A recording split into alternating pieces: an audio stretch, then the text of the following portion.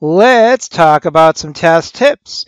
These test tips have been designed to help you identify areas of focus before taking the exam.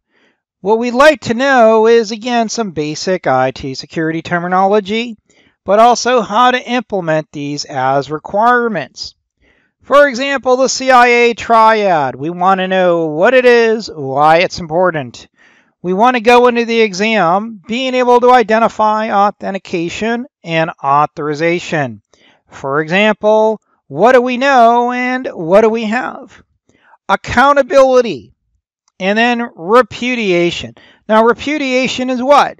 Being able to ensure that if a user, for example, uses our system, that we can actually, without a doubt, basically ensure that we could provide some kind of proof that it is who they say they are. For example, how do we do that? Typically through a digital certificate. When it comes to PKI and certificates, we want to know why certificates are important. For example, X509 certificates, know what they are, how they are implemented, etc. We want to know what a private key is and a public key is as well. We also want to understand digital signatures. We also want to be aware of some terms that I typically still find confusing. We want to know fail safe, fail secure, and fail open. This is a way we can implement basically exception management. What happens if a function fails? How do we handle it, for example? Some other terminology around single points of failure. Now again, we want to know resilience, fault tolerance, availability, load balancing, auto scaling. Please do go into the exam and understand what they mean and why they're important. Lastly, how do we handle identifying and dealing with a single point of failure? We want to know what IETV is. That's the short way of memorizing the workflow to do that. Remember, identify, evaluate, test, and then validate.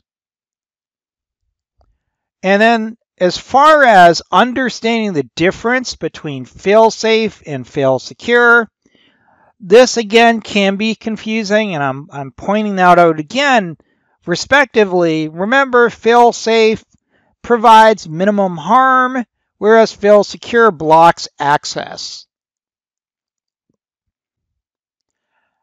And lastly, when it comes to principles of secure design, we want to be aware that security related mechanisms and the proper design should be applied. We want to think about simplicity. That really comes down to the best approach in most cases. If we keep things simple, that's probably one of the best practices that we should ever run into. We want to reduce possible inconsistencies and it's just easier to understand. That's basically what simplicity is about. Now, what about restrictions? Not all the time is simplicity the best option, of course. But we may need to minimize access and interactions, for example, or reduce or eliminate communications as well.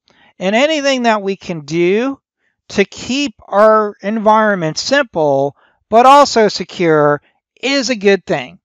And before we take the exam, we do want to know the areas around Keep It Simple. Let's move on to the review questions.